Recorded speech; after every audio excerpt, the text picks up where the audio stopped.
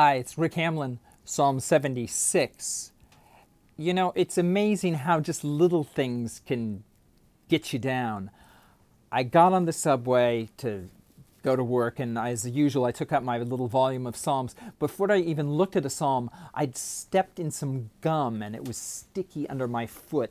And it just had me so irritated. It was one of those things that was going to drive me nuts. I was trying to scrape it off. Well, I opened, and this time it was Psalm 76 that I was to, and I read the phrase, Thou art more glorious and excellent than the mountains of prey.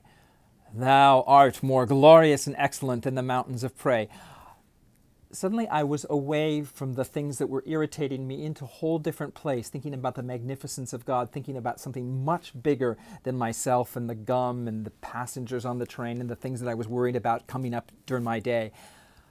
That's why I like praying the Psalms first thing in the morning because it sets me in a better path.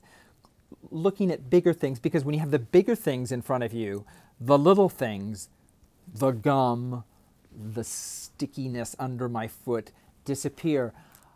I closed my eyes and I kept thinking of that passage. It went over and through my head like I like to meditate on, on a certain passage. And by the time I got off the train, I'd forgotten about the gum. Psalm 76.